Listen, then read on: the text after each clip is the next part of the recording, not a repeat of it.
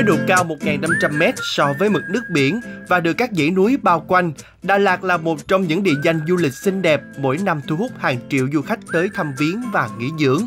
Đặc biệt với tiết trời mát lạnh, ôn hòa cùng nhiều điểm tham quan du lịch hấp dẫn, Đà Lạt luôn làm mê đắm lòng người mỗi khi có dịp ghé thăm thành phố ngàn hoa này. Thiền viện Trúc Lâm Đà Lạt là một trong ba thiền viện lớn nhất tại Việt Nam, thuộc dòng Trúc Lâm Yên Tử. Nơi đây có phong cảnh hữu tình, không khí trong lành cùng những ngôi chùa linh thiêng có kiến trúc độc đáo, mang lại cho du khách những phút giây thanh tịnh khi đến tham quan. Phong cảnh của thiền viện thì mùa nào cũng đẹp, rất trong lành, dễ chịu. Đến thiền viện, du khách có thể đi bộ thư giãn qua từng con đường nhỏ ngoằn ngoèo, qua những bậc tam cấp hoặc đi cáp treo ngắm nhìn toàn cảnh núi rừng. Nhắc đến Đà Lạt, ngoài những vườn hoa rực rỡ, những ngọn đồi đầy tính phiêu lưu, du khách còn được trải nghiệm các tour tham quan nông trại vô cùng ấn tượng với các đặc sản của xứ sở Ngàn Thông. Đây là một trải nghiệm khá mới mẻ và đầy thích thú cho các du khách khi được từng tay hái và thưởng thức ngay vị tươi ngon, thơm ngọt của các loại trái cây được trồng trong các khu nhà kính.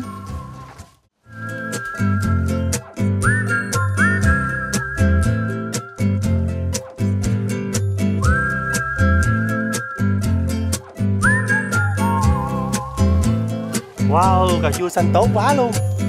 Trái nào cũng no tròn hết nè.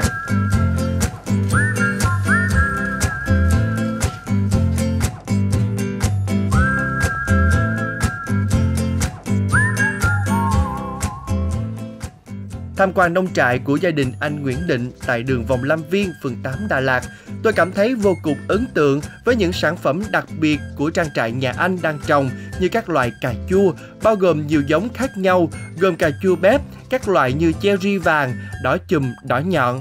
Đặc biệt các loại cà chua này có thể dùng để chế biến thành món ăn truyền thống, ăn sống hay trái cây sau bữa ăn. Hiện mỗi ngày trang trại của anh Định thu hoạch được khoảng 300 kg cà chua bếp và 150 kg cà chua cherry các loại. Ngoài ra, trang trại của anh còn trồng nhiều loại nông sản đặc biệt, chất lượng, thơm ngon như giống dưa hấu Bebino hay còn gọi là dưa hấu tí hon, là một loại trái cây cùng họ với dưa hấu, dưa lê có nguồn gốc từ khu vực Nam Mỹ. Anh ơi, anh có thể giới thiệu đôi nét về Định Farm cho em được biết thêm được không ạ? À? Hiện tại mình đang sở hữu cái diện tích là một mẫu. À, mình yeah dạ trồng chủ yếu là tập trung là cái nhóm ờ, dưa pepino, dạ. cà chua các loại, dưa leo, ớt chuông, ớt sừng và một dạ. số loài rau ăn lá. Anh ơi, định farm của mình đã mở cửa được bao nhiêu năm rồi và thời gian ờ, mình đón khách á, và khách chủ yếu là ở đâu ạ? À? À, cái trang trại của mình thì thành lập được hơn 2 năm nay và mình đang thử nghiệm uh, mô hình du lịch canh nông được gần một năm.